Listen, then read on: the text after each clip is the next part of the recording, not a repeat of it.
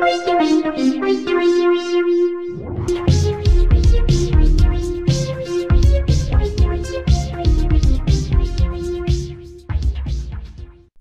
und willkommen bei mir, Lurchi Nummer 1.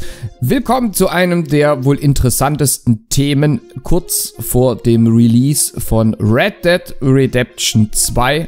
Und dieses Thema ist natürlich, wann kommt GTA 6 jetzt endlich raus? Wo findet GTA 6 statt? Und vor allem, wie wird GTA 6? Ich habe in diesem Video alle Fakten, alle Fails und alle Gerüchte mal in diesem Video zusammengefasst und zeige euch, worauf wir uns wirklich freuen können und was an dieser Stelle wirklich weit hergeholt ist. Wir beginnen gleich mit dem ersten Thema und zwar GTA 6 ist erschienen in Brasilien für die PS2. Natürlich ist das als erstes Mal ein Fail. Es ist überhaupt nicht vorstellbar, dass GTA 6 jetzt schon erhältlich sein soll. Natürlich auch nicht für die PS2. Aber was ihr da draußen vielleicht nicht glauben werdet, ist, dass GTA 6 tatsächlich in Brasilien zurzeit im Verkauf ist und verkauft wird. Dazu wird sogar die Schauspielerin Summer aus der Serie Terminator für ein Cover eines Fail-Spieles benutzt, welches ihr wirklich dort auch kaufen könnt. Aber wie sich bei vielen Käufern herausgestellt hat, ist entweder A, beim Kauf dieses Spieles überhaupt kein Spiel drin gewesen oder B, es war eine schlechte Kopie von GTA San Andreas. Es gibt momentan nichts Spekulativeres als den Ort, wo GTA 6 eigentlich stattfinden soll. Hier sind Länder aufgezählt worden wie Indonesien, London, Bogota.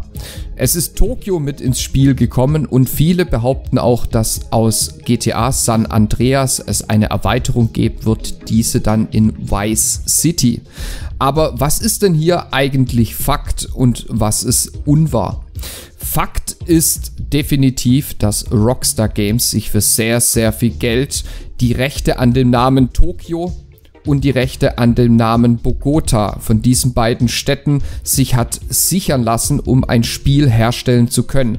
Wofür das Ganze, das weiß leider auch nur Rockstar, wo genau da der Hintergrund steht. Aber wenn wir mal genauer hinschauen, was würde denn beispielsweise für Tokio stehen.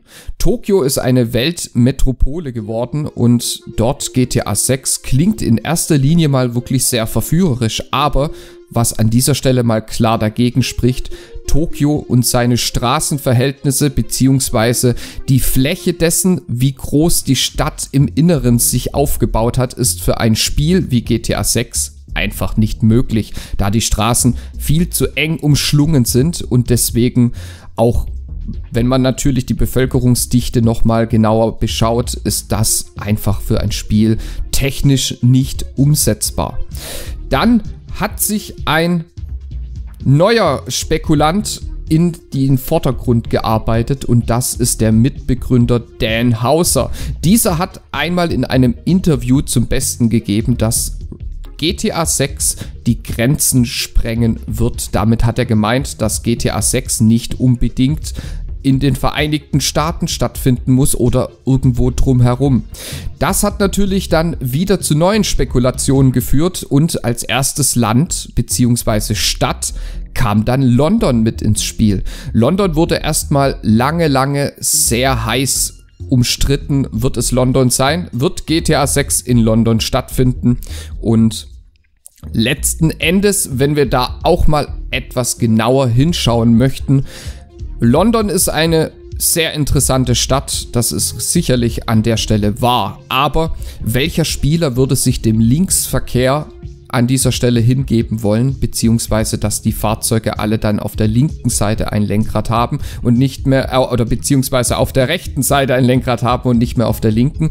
Dazu muss man doch mal klar die Aussage machen, dazu müsste sich der Spieler doch mega umgewöhnen und deswegen würde ich das Ganze als Fail unter die Schub oder beziehungsweise in die Schublade stecken. Was bleibt übrig? Vice City ist natürlich vorstellbar. Da würde ich dem Ganzen eventuell einen gewissen Wahrheitsgehalt zugeben, dass tatsächlich aus GTA San Andreas hier die umliegenden Nachbarländer verwendet werden, um ein neues Vice City zu schaffen.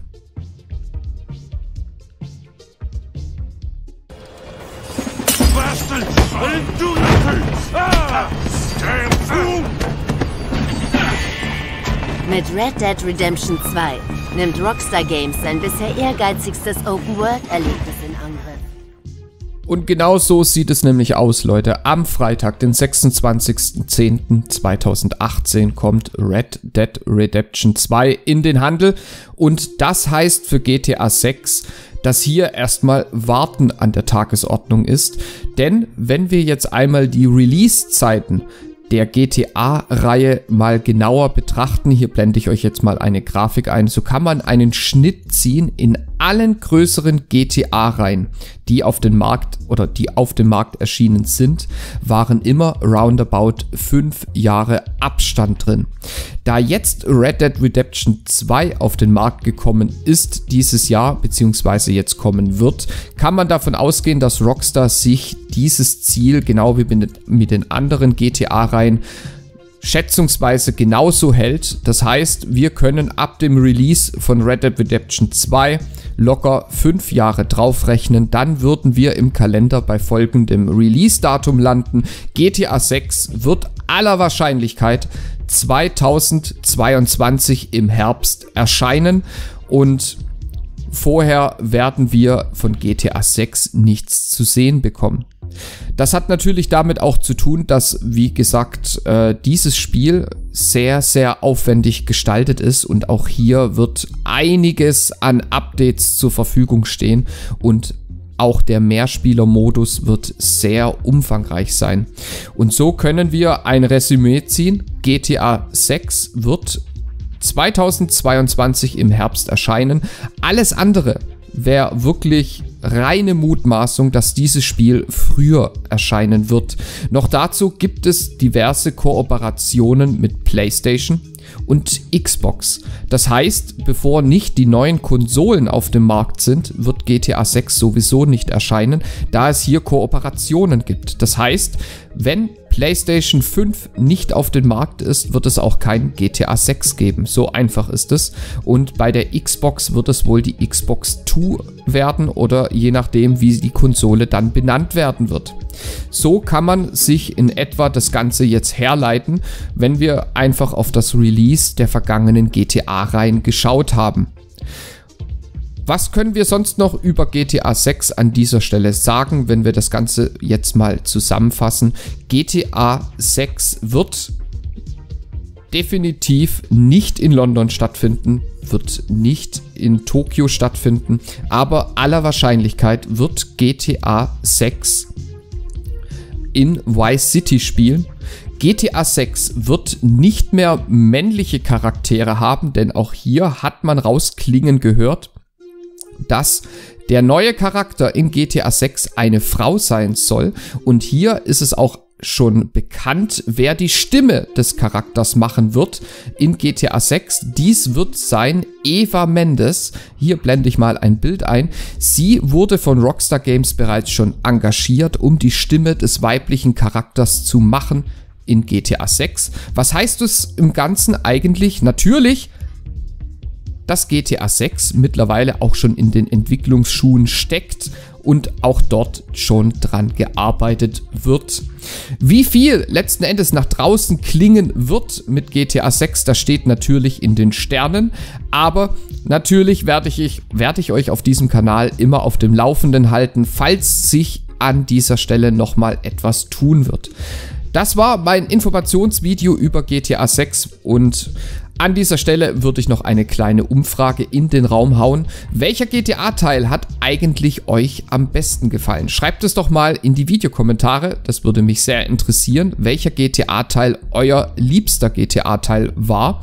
Und mit diesen Worten verabschiede ich mich und wir sehen uns wieder. Bis zum nächsten Video. Euer Luchi Nummer 1. Ciao.